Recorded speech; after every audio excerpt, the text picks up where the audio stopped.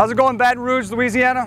This is Master Sergeant Garig from Cherry Point, North Carolina. Just want to send a shout out to all my Bayou Bengal fans. Go Tigers, Semper Fi.